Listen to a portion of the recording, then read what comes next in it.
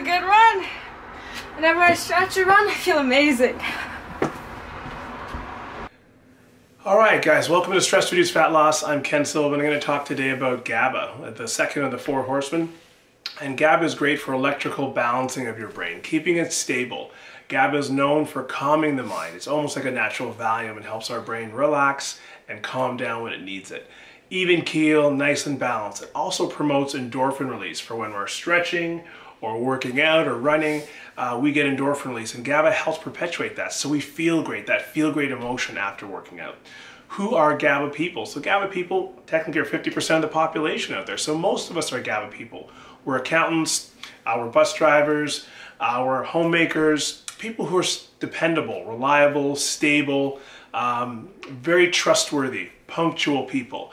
Those are all GABA people that we come apart. Now what happens when GABA is low in our life? Now we start seeing things like anxiety.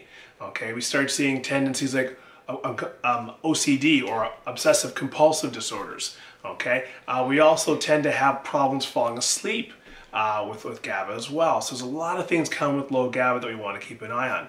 Um, so that's very important for us to know because if you're having some of these problems, that's why you see a huge rise in working out, exercising, yoga for overcoming some of these feelings uh, that we have uh, with low GABA.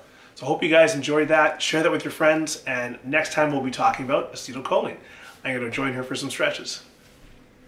Have a great day.